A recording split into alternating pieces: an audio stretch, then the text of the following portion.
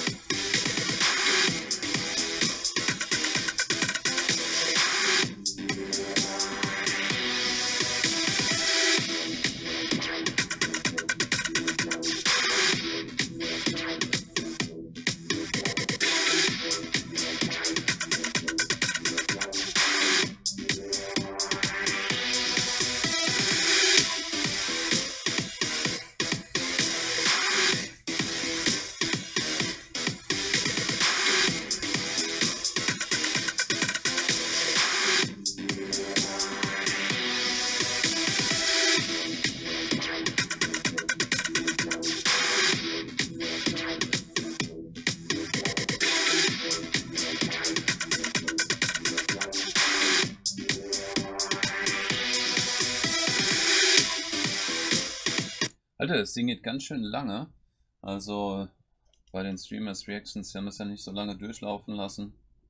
Das sah das so aus, als wäre das relativ kurz, aber äh, dieser Loop ist doch relativ lange, muss ich sagen. Ähm, ja, gut. Musik ist natürlich Geschmackssache. Äh, ich finde den Emote trotzdem eigentlich ganz nice. Ich passend halt jetzt zu dieser zu der Season ging es ja darum, um DJs und so weiter, ja.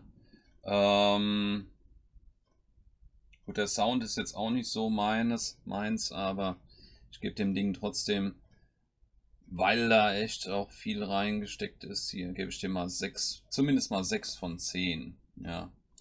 Und gucken wir mal, wie eure Bewertung aktuell, what, 5 von 5 bei 2 Votes, okay.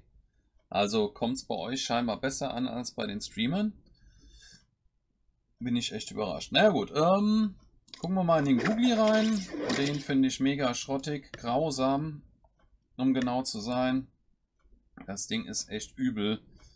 Äh, und der Googly bekommt deswegen von mir tatsächlich, also ganz von ganzem Herzen, wirklich von aus, aus meiner tiefsten Seele heraus 0 von 10.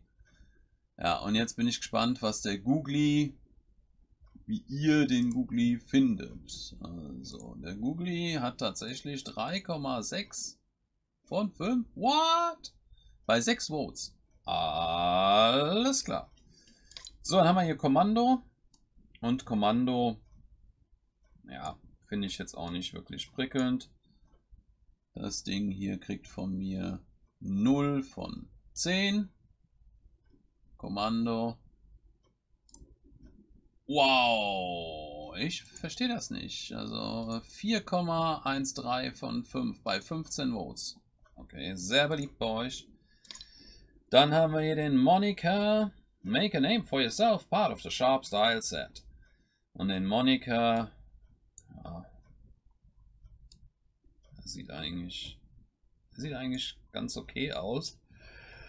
Aber ja, dem gebe ich jetzt mal, dem gebe ich äh,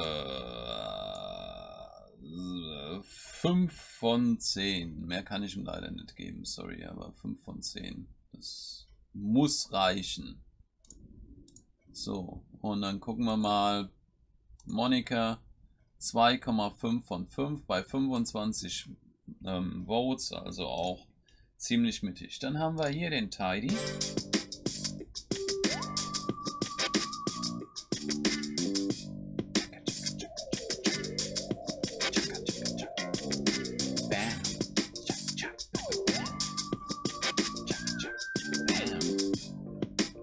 Ja, und der Tidy ist ein ganz smooth, relaxed Emote. Und das, ich finde den richtig nice, gechillt, easy.